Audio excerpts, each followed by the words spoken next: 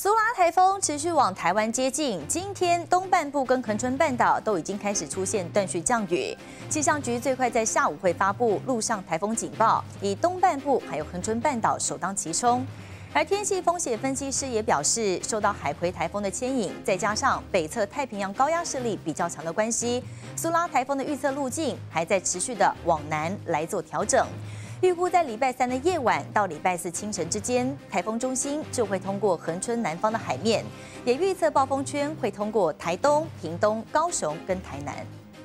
苏拉台风步步进逼台湾，气象局预估未来苏拉还会增强变胖，并以中台上线等级靠近台湾。周二这天首当其冲的东半部跟恒春半岛将会开始出现断续降雨。到了周三、周四，台风最接近台湾的时间点，受到台风及它外围环流的影响，气象局提醒东半部及南部地区要留意局部大雨，尤其华东南部山区得慎防局部豪雨。季风低压区它的环流状况。或是中间各个热带系统的相对运动，都会影响到台风它的移动。气象局表示，苏拉台风环流虽小，但结构扎实。而第十一号台风海葵未来往苏拉更加接近时，可能产生交互作用，影响苏拉走向。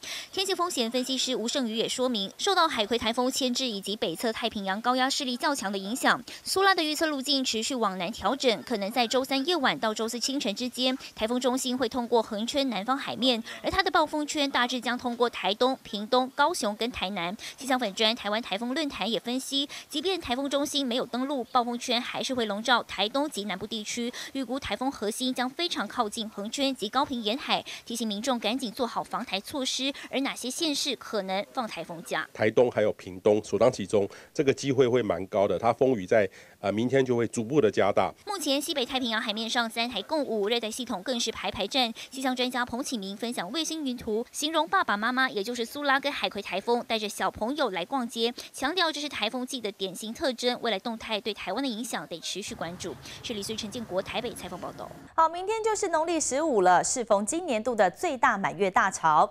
高雄旗津在今天清晨已经出现海水倒灌，还导致好几处的路面都出现了积水情形。当地摊商赶紧把商品架高，担心损坏，也担心台风来袭会没有办法做生意。好，另外在台南北门双春海岸，上个月受到杜苏芮台风的影响，沙洲出现了宽二十公尺的破口，相关单位紧急抢修，希望在台风来临前填补缺口。明明没下雨，高雄期间路面却出现多处积水，原来是碰到大潮。水面接近满潮，海水不断从围栏空隙倒灌，当地摊商穿上雨鞋搬移地上的篮子，就怕积水导致商品损坏。安尼我做行李呗。由于当地地势低洼，每到农历初一、十五就会出现海水倒灌。眼看苏拉台风又要进来，摊商也忧心忡忡，就怕影响生意，只能提前做防台准备。另外，在台南北门双春海岸，上个月受到杜苏芮台风影响，沙洲被冲出宽达二十公尺的破口，相关单位紧急抢修，紧急的载一些沙土来。回回填这这一片破底的地方，也希望就是说我们的河川局啊，在我们这一片沙滩的地方哈。可以能够用一些像一些消波块之类的哈，来减低那个海浪的冲击。沿着海岸缺口堆叠太空包，筑起围堤，怪手在运土方养滩，并架起木桩阻挡海浪。由于双春海岸过去抢修多次，还是被强浪冲出破口。这回加强工法，因为碰上今年最大满月大潮和台风双重威胁，临时筑起的围堤能否抵挡，将备受考验。据台南高雄综合报道。明天就要开学了，眼看台风接近，让不少学校纷纷开始做起防台准备工作。以台北市大家国小来说，光是今年就有两次因为午后雷阵雨带来的强劲暴雨势，导致校园里头大淹水。而校长现在也担心，要是在开学这一天碰上了台风，雨水宣泄不及，恐怕会影响到孩子们的出入安全。因此这一次早早就在校门前堆好沙包。水板一片一片排好，学校穿堂堆满沙包，校园内低洼地区也架好防水闸门，严阵以待，就怕三十号开学这天又遇到台风来搅局。当然要让小孩子放假，要不然那风很大，雨很大，你带小孩子去学校吗？这样不是很危险吗？看政府怎么规定吧，能上课就上课啊。部分学校二十九号返校日进行班级调整、教科书发放以及教室环境整理，为三十号开学做好准备。只是台风来袭，就怕影响课程和新生入学仪式等活动。有国小老师早在开学前就到学校讨论防台准备。以北市大家国小为例，由于一旁紧邻高速公路，若遇到强降雨，水会从水管排到排水沟，一旦宣泄不及，就会直接淹到马路上，再灌进校园里。日前就因为这样，今年已经有两次造成校园内淹水，水深甚至达到小腿高度，让校长相当忧心。我们就呃有去跟呃相关单位做一些呃联络，希望说他们的那个水不要灌到我们这边来，因为它从那个高速公路上面的水灌下来。确实是影响我们学校很大，还都会巡视一下学校的屋顶啊、排水系统。开学日究竟该不该放台风假，还得是海陆警发布后的风雨预报，再由地方政府做决定。学校和家长得做好准备。记者刘巨卢博聪台北报道。苏拉台风靠近台湾，云林的菜农们担心会影响收成，包括青葱、通心菜跟苋菜等等，菜农们要趁着台风还没来，赶快来抢收。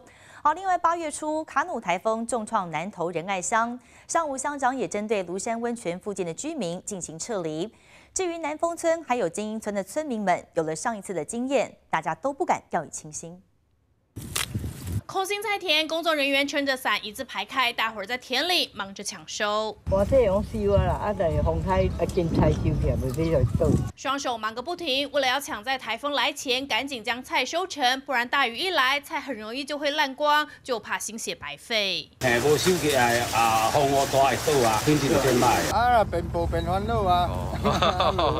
不止空心菜、落葵、苋菜，还有青葱，所有菜农几乎动起来，全都在忙着抢收，而一。听到台风又要来了，担心的还有南投仁爱乡的村民们。